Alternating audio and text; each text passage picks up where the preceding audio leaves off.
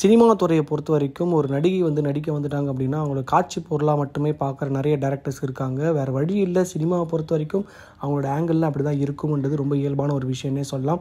அது மட்டும் இல்லாமல் எத்தனை நடிகைகள் வந்து ஆரம்ப காலங்களில் ரொம்பவே முரண்டு பிடிச்சி அதுக்கப்புறம் அவங்க ஜெயிக்கணுன்றதுக்காக எந்த லெவலுக்கு வேணால் போகிற அளவுக்கு தவறான செயல்களில் எரிபட்டு அவங்க வாழ்க்கையை கூட இழந்திருக்காங்க. அந்த மாதிரி ஒரு சில நடிகைகள் இருந்தாலும் ஒரு சில நடிகைகள் வந்து கடைசி வரைக்கும் கண்ணியமாக இருந்து அவங்க மார்க்கெட்டில் இல்லைன்னா கூட அவங்களுக்கான பேரை சம்பாதிச்சுட்டு போயிருக்காங்க.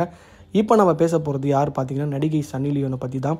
ஆரம்ப காலகட்டங்களில் ரொம்பவே கஷ்டப்பட்ட ஒரு ஃபேமிலியாக இருந்த சன்னி லியோன்.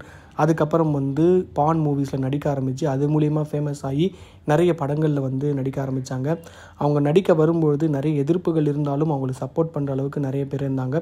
என்னதான் வந்து அவங்க பான் மூவிஸில் நடித்தாலும் அவங்களுக்குன்னு வந்து ஒரு உலகம் இருக்குது அப்படின்றத கண்டிப்பாக நம்ம தெரிஞ்சுக்கணும். ஏன் அப்படின்னு பார்த்தீங்கன்னா எல்லாருமே பான் மூவிஸுக்கு ஆசைப்பட்டு வரதில்லை அவங்களோட சூழ்நிலை கைதிகளாக மாறினால் மட்டும்தான் இந்த மாதிரி படம் படங்கள்லாம் நடித்து அது மூலிமா நிறைய காசுகளை சம்பாதிக்கணுன்ற ஒரே எண்ணத்தால் மட்டும்தான் இந்த மாதிரிலாம் நடிச்சிருக்காங்க அப்படின்றத நம்ம குறிப்பிடத்தக்கதாக சொல்லணும்.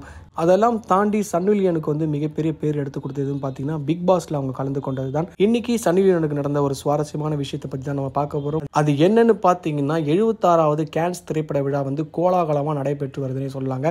புகழ்பெற்ற இந்த கேன்ஸ் விழாவில் ஆவணப்படங்கள் திரைப்படங்கள் போன்றவற்றை வந்து வெளியிடுவாங்க.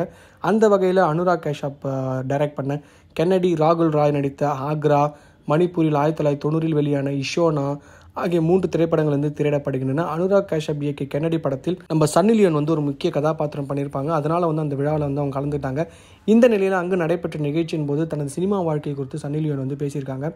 அது என்னன்னு பார்த்தீங்கன்னா ஆரம்ப காலகட்டங்களில் நான் ப்ளூ ஃபிலிமில் நடித்து வந்தேன். அதுக்கப்புறம் பார்த்தீங்கன்னா திரை உலகத்துக்கு நடிக்க வந்தேன். அப்போ நான் சந்தித்த எதிர்ப்புகள் ரொம்பவே அதிகம். பிக் பாஸ் நிகழ்ச்சி அப்படின்றதுல வந்து என்னை வந்து கலந்துக்க சொன்னாங்க. ஆனால் நான் இந்தியாவுக்கு வர மறுத்துட்டேன். என்னுடைய கணவர் டேனியல் தான் என்னை இந்தியாவுக்கு வர வச்சார். பிக் பாஸ் நிகழ்ச்சிக்கு அப்புறம் தான் மக்- என் மீது மக்கள் வச்சு இந்த தவறான பார்வை வந்து மாறுச்சு அப்படின்னே சொல்லலாம்னு சொல்லி அவங்க சொன்னாங்க. என்னையும் ஒரு நடிகையாக வந்து எல்லாருமே ஏற்றுக்கிட்டாங்க நான் சினிமாவில் நடிக்க வந்த காலத்துக்கு எனக்கு பல முறை கொலை மிரட்டலும் வந்திருக்கு. என்னை சினிமாவில் நடிக்கக்கூடாதுன்னு சொல்லி நிறைய பேர் மிரட்டிருக்காங்க அதையும் தாண்டி நான் தற்போது ஒரு நல்ல நடிகையாக இருக்கேன் அப்படின்னு காரணம் பார்த்தீங்கன்னா என்னோட ரசிகர்கள் காலம் மட்டும்தான் அப்படின்னு சொல்லி ரொம்ப பெருமையாக பேசிட்டு இருந்தாங்க. சினிமா துறையில் எத்தனையோ நடிகைகள் வந்து தவறான பாதையில் போனாலும் அவங்க எந்த சூழ்நிலை போனாங்க அப்படின்றத நம்ம பார்த்துட்டோம் அப்படின்னா இந்த மாதிரி விஷயங்கள்லாம் பெருசாக நடக்காதுன்னே சொல்லலாம். சன்னி லியோன் ஃபேனாக நீங்கள் இருந்தீங்கன்னா இந்த விஷயத்தை பற்றி கமெண்ட் பாக்ஸில் போய் கமெண்ட் பண்ணுங்கள் உங்களுக்கு இந்த வீடியோ பிடிச்சிருந்தா நம்ம சேனல் லைக் பண்ணி ஷேர் பண்ணி கமெண்ட் பண்ணுங்கள் மறக்காமல் சப்ஸ்கிரைப் பண்ணுங்கள்